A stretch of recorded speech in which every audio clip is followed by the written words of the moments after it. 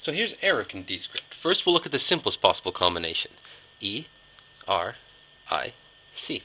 Now we got a f- we got lots of double combinations actually to look to use here, even though we're looking at only four letter words. So first of all, let's see. We can do ER.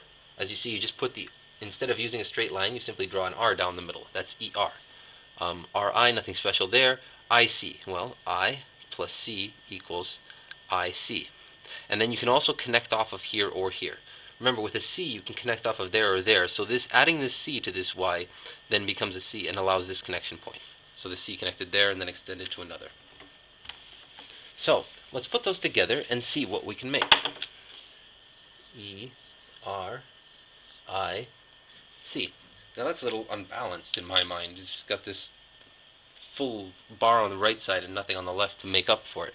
So what you could do is you could start creating a slightly more oval shaped E maybe, and then bring that up, and that would even it out. That that works. Looks a little weird, but that works. What other options can we do, do we have here?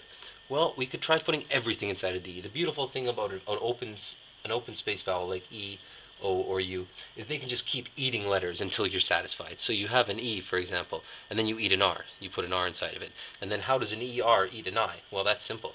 You just draw an I there. This you have to be careful with. When you're adding your I's inside of your E's like so. Be very careful because if you're not careful, they might look like a V. now, this will not look like a V if to somebody very familiar with Dscript for one specific reason. When a V is added inside of an E, it always goes all the way to the edges. So just keep that in mind. Study the Dscript manual and figure it out. But I'll show you what I mean here. So we can go E, R, I, C. Or E, R, I, C.